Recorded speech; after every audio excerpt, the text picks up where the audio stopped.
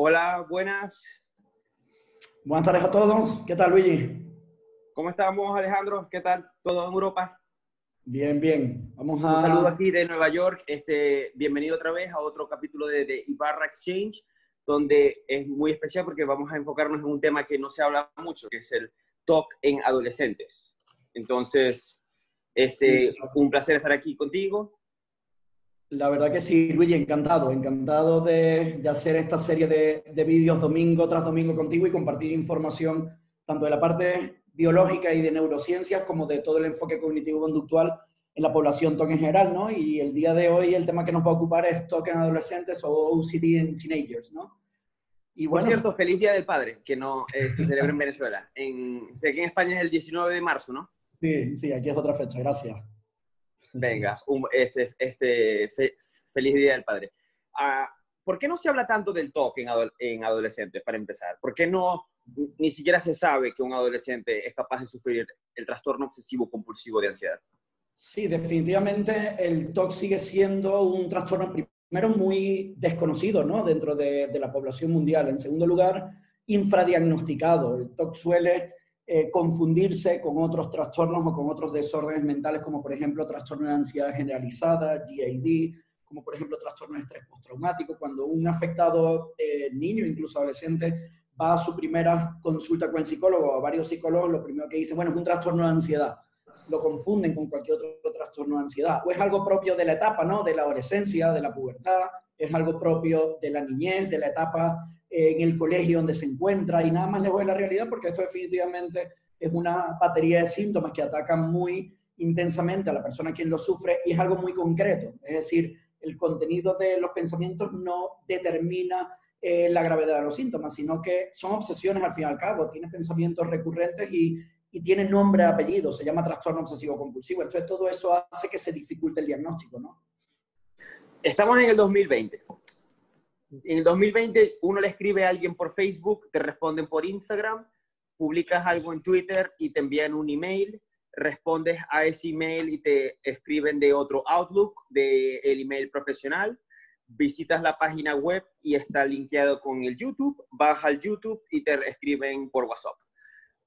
Hay demasiada tecnología en el 2020 comparado con 1995, con hace 25 años. Ahora tienes aparato tras aparato tras aparato y en cada aparato tienes app tras app tras app y hay apps como Netflix donde es un universo. Puedes eh, a partir de ahora, eh, no para hacerle publicidad a Netflix, pero puedes a partir de ahora pasar el resto de tu vida viendo Netflix. Y no, o sea, tiempo hay, porque siempre hay series. ¿Cómo es, crees tú que es diferente una persona sufriendo, un adolescente sufriendo trastorno obsesivo compulsivo en el 2020 comparado con 1995? Si simplemente estás en un aparato, todo, ¿es posible tener rituales este, en, y perderte dentro de estos apps, dentro de esta tecnología? Sí, yo pienso que la tecnología, eh, verás, eh, definitivamente cambia, ha cambiado y continuará cambiando el mundo. La tecnología ha llegado para quedarse, ¿no? Y con respecto a, a los afectados con TOC, a muchos, muchos, cientos y miles de afectados con TOC, la tecnología lo ha acercado al tratamiento adecuado, porque como tú habías dicho, hace 25 años prácticamente era algún libro, si es que había con suerte, algún psicólogo especialista en esa época, eh, de los comienzos prácticamente que habían, pero claro, no estaba tan desarrollada la tecnología. Entonces, claro, el tiempo entre que la persona tenía los síntomas o empezaba a experimentar los síntomas hasta llegar a un especialista era muy largo, normalmente por encima de 10 años. La media sigue siendo larga, entre 7 y 10 años, sin embargo, por lo menos en 5 Alejandro Ibarra, y estoy seguro también en muchas consultas especializadas, se ha logrado cada vez recortar más el tiempo. ¿Por qué? Porque precisamente hay un correo electrónico en mi mano o hay una aplicación, por ejemplo, o hay un canal de YouTube como esto que nosotros hacemos entre otras cosas, ¿no? Y como en mi canal de YouTube donde semana tras semana grabo vídeos para educar, informar y compartir información ¿no? con, con, toda la población en general. Y eso definitivamente hace que el afectado identifique los síntomas, se ponga en tratamiento más rápido y eso ha sido algo positivo. Es decir, la tecnología hay que también filtrarla y saber utilizarla. Google, por ejemplo, Google puede acercar a muchos afectados a recuperarse, pero hay un momento que Google ya forma parte de unas compulsiones. Siempre digo, Google deja de ayudar, o sea, Google te ayuda hasta el momento que deja de ayudarte. En el momento que ya tú has encontrado al especialista, Google ya no te ayuda. Google ya de alguna forma refuerza tus, compulsiones, ¿no? Entonces, eh, hay que saber utilizar la tecnología y yo creo que, eh, mira, eh, hoy que estamos tocando el tema de niños y adolescentes, yo recibo correos a diario de chicos por debajo de los 18 años, entre los 14 y los 17 años, que ellos mismos me contactan porque han visto un vídeo por YouTube y ellos mismos a través de su teléfono móvil contactan con el psicólogo Alejandro Ibarra, que ni siquiera sus padres saben lo que tiene o por lo que está pasando y quiero recibir ayuda. Por supuesto, hay que hacer todo esto con un consentimiento informado o a través de los padres y representantes del menor de edad, pero es el acceso que tiene, en este caso, el menor que cuando hacemos toda la gestión de la cita a través de los padres y representantes, pues muchos de ellos, por supuesto, han logrado estar y empezar el tratamiento adecuado y, por supuesto, han podido recuperarse. De hecho, la semana pasada vi un chico de aquí, de, de una provincia de, de, Madrid concretamente, eh, con una de mis compañeras y este chico tiene 16 años. La primera vez que él escribió, me escribió directamente a mí. Le dije, dile a tu padre que me llame. El padre me llamó y me dice, mira, mi hijo me dice que tiene esto. Es así. Eso nunca hubiera pasado en 1995. Claro, eso hace 25 años no, no era viable, ¿no? Y creo que es una parte positiva, sin llegar al abuso, por supuesto, pero el uso de esta tecnología sí realmente ha ayudado a, personas con, con toque identificados síntomas y ponerse en el tratamiento correcto. Me gusta cómo, eh, eh, Ale, le, eh, eres bastante defensor de la, de la tecnología. Hablando de la tecnología disruptiva en un trastorno disruptivo con pensamientos disruptivos, te, este, te hice una pregunta de cómo puede empeorar los, rituales y dices, bueno, la tecnología es un arma de doble filo. En muchos casos, no, aparte de la telesalud y aparte de la gran información y contenido en estos apps, en estos dispositivos, también está la facilidad de un adolescente contactar a un psicólogo, aprender de su propia enfermedad, entender que es muy diferente a otro trastorno de ansiedad o hasta la misma, los, mismos, la misma pubertad, la misma ansiedad del adolescente que sufre, este, el miedo constante que, que tienen a tener en un cerebro siendo completamente, desde el punto de vista neurocientífico, que no está desarrollado por completo, ni siquiera a los 21 sigue habiendo plasticidad por el resto, eh, por el resto de tu vida. Pero tú dices que eh, la tecnología los ha ayudado, ¿ok? Es un arma de doble filo, pero en, el caso los, la, o sea, en la parte positiva los ha ayudado, los ha acercado a ti, se pueden comunicar, pero pueden tener, háblame de un paciente, del típico paciente adolescente de TOC. ¿Cómo puede tener un ritual? ¿Cuáles son sus pensamientos disruptivos? ¿Qué hace el doctor Google eh, por ellos? ¿Qué tanto chequea? ¿Cuánto puede ser el screen time de una persona con trastorno obsesivo compulsivo? Horas, horas, horas, horas. Eh, puede estar horas googleando, puede estar horas comprobando, puede estar horas eh, informándose. ¿Por qué? Porque muchas veces fueron parte de los síntomas. Yo, yo, como tú bien has dicho, soy un defensor no solo de la tecnología, sino siempre intento buscar la parte positiva de todo esto, porque la tiene. Es decir, un afectado con TOC puede llegar a recuperarse, puede llegar a tener una vida muy, muy óptima. En algunos casos o en muchos casos hay eh, una remisión total de los síntomas. Entonces, claro, siempre vale, siempre soy un defensor de todo esto y de, un punto de vista positivo. Ahora, con respecto al planteamiento que tú me haces. Es decir, un afectado con TOC. Eh, adolescente o, adulto, pero estamos centrándonos en los adolescentes. Puede pasar horas buscando información. En los TOC, por ejemplo, de orientación sexual, sexual HOCD, que es el TOC de homosexualidad. Y puede estar horas buscando a través de foros, a través de páginas web, a través de eh, muchas veces páginas web no especializadas e información general para ver si o soy gay o soy lesbiana y realmente ni es gay ni es lesbiana, es un problema, es un trastorno obsesivo compulsivo de tipo orientación sexual o de tipo homosexual. Entonces, claro, el intentar eh, reasegurar a través de Google para ver si soy, es decir, si me vienen pensamientos a la idea, buscan en Google de esta forma. Si me vienen pensamientos a la idea frecuentes de que me gustan los chicos y yo soy chico, es que soy gay y le salen 25 páginas distintas eso es compulsión, porque estoy constantemente buscando una información para calmar la ansiedad que me genera el propio pensamiento. Por supuesto que eso es dañino, es dañino porque es una forma de reaseguración que es la compulsión más dañina que existe. Esa sería un poco la parte negativa porque en ese caso refuerza la obsesión. Claro, pero al mismo tiempo, como de con el especialista, lo acerca al tratamiento adecuado. ¿me entiendes? Entonces, claro, eh, vamos a... Y así como buscan la orientación sexual, también algo que se habla mucho en los adolescentes es que la, el, el sexo, el género es fluido. Hay gente que biológicamente hay dos géneros, pero hay personas que dicen no, la biología cero, el género es fluido, hay infinitas cantidades de géneros este, entre hombre y mujer o más allá de hombre o mujer. Y ese sería otra, aparte de la orientación sexual, el constante buscar y reafirmación para calmar esa compulsión. Exactamente, al fin y al es buscar información para calmar, ¿me entiendes? Para bajar el nivel de ansiedad del propio pensamiento.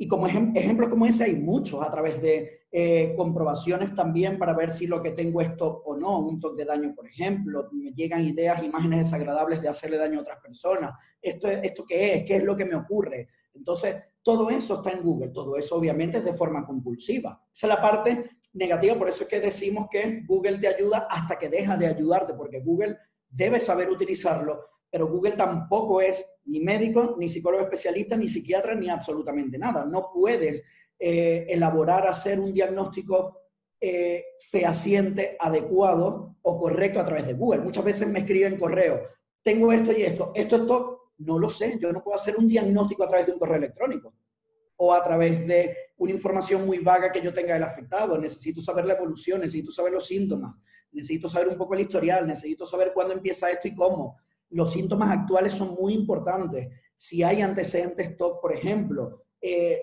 los síntomas presentes, cómo llega, cuándo, de qué forma, edad del paciente, son muchas las interrogantes que no se pueden responder a través del correo electrónico. Pero la, buena noticia es que TOC es uno de esos trastornos, aunque sea en una, en una primera sesión, el psicólogo puede dar y dar el diagnóstico. Hay trastornos como los de personalidad, narcisista, disocial, o ciertos trastornos de, este, depresivos que no se sabe si son distimia o, o, major depressive disorder o algún tipo de bipolar ciclotimia que pueden tardar hasta más de dos sesiones en el psicólogo por fin dar con el diagnóstico si es que tiene de verdad el trastorno y no una especie de combinación. Hablemos de los adolescentes, primero de las chicas y después de los chicos. Las chicas, ¿cómo un psicólogo puedes, eh, este, qué rasgos hay para entender cuando una chica no está sufriendo de o un trastorno alimenticio como, como anorexia que pasan extremada, pueden pasar varias horas del día viéndose el cuerpo, o lo que se llama el body dysthymia disorder, donde pasan, pueden pasar horas viendo cada parte de su cara, cada parte, cada ángulo, inventándose que son menos atractivas o un poco más este, de mayor figura de lo que, de lo que son. ¿Cómo un psicólogo puede dar y decir esto es TOC o esto es body disorder o anorexia?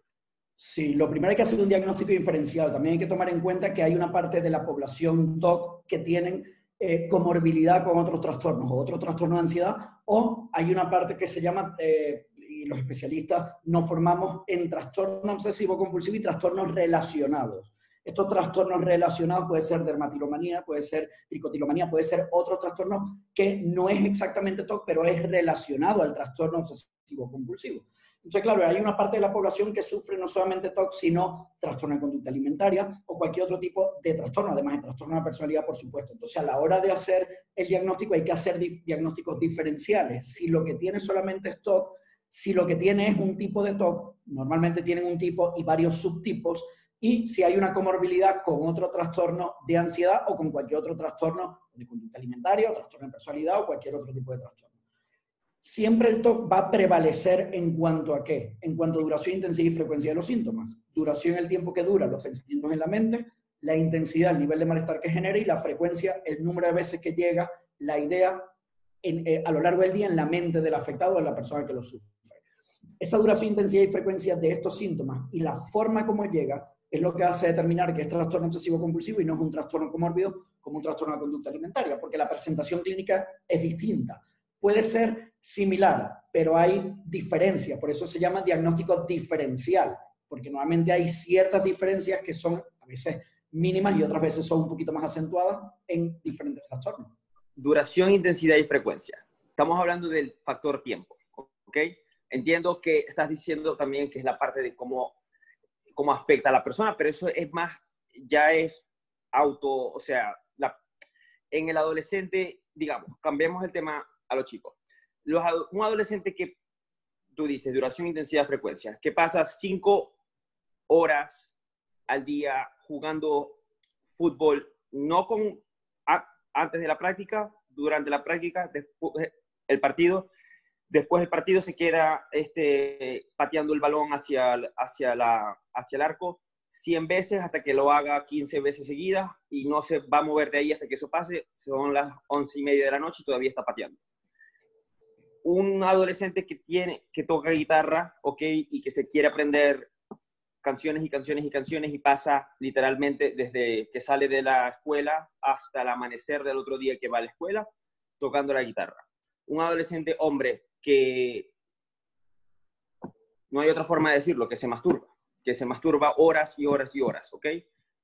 ¿Cómo el factor tiempo puedes decir que esa, esa, ese paciente, ese adolescente o no está viviendo la pubertad o no tiene otro trastorno no TOC o tiene TOC?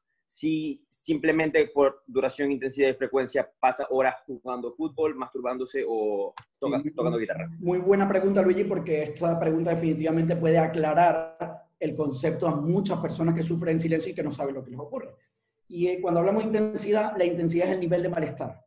El malestar es la clave, es la diferencia. La persona que patea 100 veces un arco no siente malestar. No siente ese malestar tan intenso del 0 al 10, logrando una escala de 10 cuando el malestar es muy intenso, como una persona que sufre TOC. Una persona que sufre todo el malestar es muy, muy, muy intenso, además de duración y frecuencia. Entonces, normalmente el malestar es la diferencia. Por eso se hace un diagnóstico diferencial. Insisto, una cosa muy importante, Luigi, porque em, es muy importante aclarar el concepto en lugar de crear más confusión. ¿Por qué? Porque en la población puede decir, bueno, lo que ellos están hablando es que si yo me masturbo tanto tiempo, entonces no quiere decir que es TOC. Bueno, puede ser que sea TOC, porque puede ser una conducta compulsiva de un problema, de un problema, en este caso, de un tipo de TOC de orientación sexual o de un TOC de homosexualidad. Entonces, es muy importante, por eso a mí me gusta siempre dar la información muy clara, muy sencilla.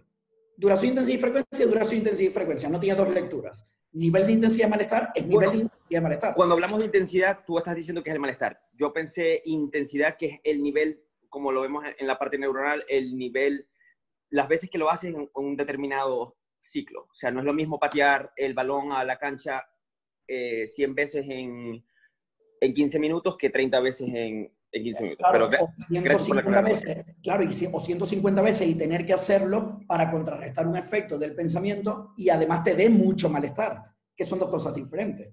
Entonces es muy importante por eso aclarar los conceptos para no crear más confusión porque se trata además de eh, ayudar a la población en general, no crearles claro.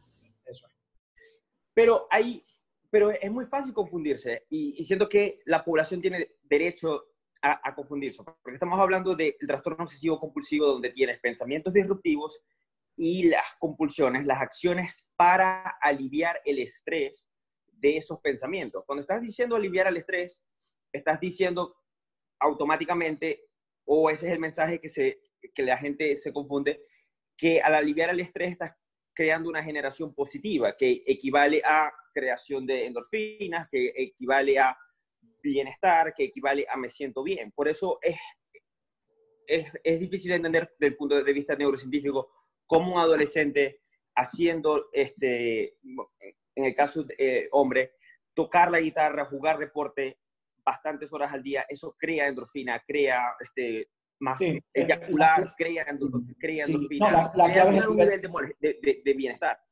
Sí, no, en este caso la clave es el nivel de malestar. Una persona que, como los ejemplos que tú has puesto, cuando hace rituales lo sufre. La persona está atrapada mentalmente o motoramente, físicamente, haciendo esas conductas compulsivas. No lo disfruta, no lo disfruta porque es, es estar atrapado haciendo algo, comprobando una puerta, cerrando un grifo, comprobando una ventana, sabiendo que no, puedes, no debes hacerlo, pero no puedes zafarte o librarte de esa compulsión en ese momento. No es agradable para nada. Entonces, eso es una diferencia que, que es clave en todo esto. Cuando se sienten, cuando ya no es el, el, el final de la acción sentirse bien, sino simplemente tratar de salir de la cárcel que se han puesto a sí mismos, tratar de salir del laberinto en el que, en el que ellos están. ¿Qué dicen los padres? ¿Qué dicen los padres de los adolescentes en, tu caso, en tus experiencias? El, cuando tratas a un chico con con, este, con EPR, el padre está ahí, ¿qué, tan involucrados los padres están o deberían estar? ¿O están muy involucrados? Eh, sí, cuando hablamos de familia eh, hay dos conceptos, bueno, hay muchos conceptos de familia, pero hay dos conceptos que son claves. Familias que colaboran o familias que sabotean la terapia. Eh, si nos encontramos con familias colaboradoras, entonces este tipo de familias las incluimos en la terapia los últimos, por lo menos en nuestra consulta, eh, los últimos 10 o 15 minutos de la sesión para informarles la exposición que se ha hecho, los avances que está teniendo el chico o la chica, las tareas para casa que hay que pautar. Entonces eso se hace... ¿En, en frente del adolescente? Disculpa. Sí, en frente del adolescente y, eh, y en este caso son los últimos minutos de la consulta porque la prioridad siempre la tiene el adolescente y la tiene la exposición con prevención y respuesta, que realmente es el tratamiento que va a ayudar en este caso al afectado a salir de todo esto. Entonces, si la familia sabotea y no es una familia colaboradora, entonces la información que se le da es mínima y definitivamente pues ya tenemos que limitar un poco la entrada del familiar dentro de la consulta. Eh, lo hacemos con el adolescente fuera, trabajamos únicamente con, el, con los padres o representantes y es una información mínima. ¿Por qué? Porque definitivamente y esto es una realidad. El trastorno obsesivo compulsivo, igual que muchos desórdenes mentales, no lo comprende todo el mundo. Hay, hay, personas todavía que no comprenden una depresión, que no saben o no comprenden por qué mi hijo eh, le da ansiedad o se ha deprimido, si mi hijo es perfecto, si mi hijo tiene una educación ejemplar, y las personas nos deprimimos, y a las personas nos da ansiedad, y las personas sufrimos, y las personas en algún momento no queremos levantarnos de la cama por X motivo. Y eso es una realidad. Y en el caso del, adolescente, los cambios que sufren a nivel este, neuronal, a nivel cortical, a nivel en cada estructura subcortical o cortical del cerebro a lo largo de la adolescencia, es muy fácil para un padre decir, mi hijo no era así, mi hija no hacía esto. Sí, un adolescente puede cambiar su conducta así porque su cerebro está cambiando completamente, es algo, eh, sueles escuchar esa frase mucho, diciendo, mi hijo no puede tener TOC. Hace dos semanas este, era el delantero que más metía goles en el equipo de Sevilla de... Sí, sí, es, es así, porque primero es muy difícil de comprender esto y, también hay una negación por parte de los padres. ¿Cómo es que mi hijo ahora tiene esto? Si es un chico de sobresaliente en el colegio, en el instituto, si no ha dejado de practicar deporte, bueno, pues si hay una vulnerabilidad psicológica, y de alguna forma llega un disparador, empiezan las obsesiones, la persona tiene que hacer las compulsiones y rápidamente se forma un poco lo que es el trastorno en sí. Y esto ocurre. Entonces, por eso te comento que trabajamos con, con las familias para eh, aceptar lo que le ocurre, aceptar el diagnóstico y más que siempre lo digo también, y como te digo, soy un defensor de la parte positiva de todo esto, porque lo, di, lo dije y lo he dicho en los vídeos en directo. Cuando un familiar al, con respecto al afectado, y porque a mi hijo y porque a mi hija, te ha tocado, y si te ha tocado, lo más importante es vamos a buscar la solución al problema. No es, la religión, no es la influencia de las personas, no comió nada, no fue que te divorciaste. Te ha tocado. Te ha tocado, te ha tocado. Lo más importante, vamos a solucionar el problema. Frecuencia de la terapia, qué tengo que hacer, cómo, cuándo, dónde, cómo la tengo que trabajar, tiempo estimado de recuperación y vamos a ello. ¿Qué más da la causa que ha pasado, de dónde, cómo y qué? ¿O por qué? No, es que va a causar el TOC más en los padres, causa un segundo, un TOC secundario que al final causa más ansiedad al adolescente y es el círculo vicioso de ansiedad padre-adolescente de, ¿cómo cortamos este, este laberinto? Los familiares... Una última pregunta. Este, ¿Qué tanto poder tiene un adolescente en su terapeuta? Un adolescente que sufre TOC puede decirte, este psicólogo Ibarra, por favor, no, este doctor Ibarra, no quiero que mis padres sepan A, B y C, solo diles D. Bueno, eh, sí, ahí hay una parte también, por supuesto, de, ética, de profesionalidad y de compromiso con el paciente, independientemente que sea adolescente o adulto. Y hay información, por supuesto, sobre todo cuando es contenido de los pensamientos o de las obsesiones, que no podemos traspasar esa línea e informar a los padres y eso es así, al menos que tengamos un consentimiento, en este caso, del paciente que es un menor de edad. Pero normalmente, lo, mm, por mi experiencia, por nuestra experiencia en Cinco Alejandro Ibarra, mi equipo y yo, normalmente eh, los adolescentes le transmiten información, incluso el contenido de los pensamientos a los padres. Me ocurre esto, tengo miedo a que la casa se prenda fuego, o tengo miedo a dejar la puerta abierta porque va a entrar un ladrón, o tengo miedo a contaminarme, o tengo miedo a hacerle daño a alguien. O sea, ellos hablan de sus pensamientos con los familiares, con el padre y la madre, eh, incluso a veces con los hermanos, o sea, no, no tienen eh, reparo en compartir un poco el contenido de las obsesiones con los familiares cercanos. Por supuesto, con, con nosotros los tienen que compartir sí o sí, porque tenemos que exponerlo o ayudarlo a exponer a ese tipo de pensamiento. Por lo tanto, el contenido debemos saberlo. Bueno, es muy importante que los adolescentes que estén bien de esto sepan que todo está bien, así como hay, eh, existe el calentamiento global, el TOC en adolescentes existe, no te hace menos, no es una maldición, no, es, no eres anormal, no eres menor que nadie, simplemente es un problema y hay que buscar ayuda y, para eso hay mucha Y hay recuperación, hay recuperación, recovery is possible, siempre lo digo, o sea, esto es posible. Esto el adolescente se recupera. El adolescente, el niño, el adulto y el de la tercera edad, o sea, la recuperación es posible en todo y eso es una realidad y eh, lo vemos día tras día. Claro, hay que llevar a cabo un programa, hay que llevar a cabo una frecuencia, una consistencia, eh, una forma de hacer las exposiciones muy determinada, muy específica, pero por supuesto la recuperación, o sea, ocurre, ¿ok? Entonces eso es muy importante siempre porque me enfrento a algo que voy a solucionar, que, por lo menos voy a hacer que esto lo controle y los síntomas remitan hasta que desaparezcan. Eso, eso siempre, siempre hay que tenerlo claro cuando hablamos de, de TOC o de OCD. Muchísimas gracias, Alejandro. Nos vemos la próxima semana donde Quizás haremos hasta una parte 2 de este, de este tema porque es bastante controversial, bastante, hay muchísimo contenido y hay muchísimo que aclarar para los adolescentes y para los padres. Gracias, Luis. Gracias. Un abrazote. Cuídate mucho. Hasta luego. Gracias.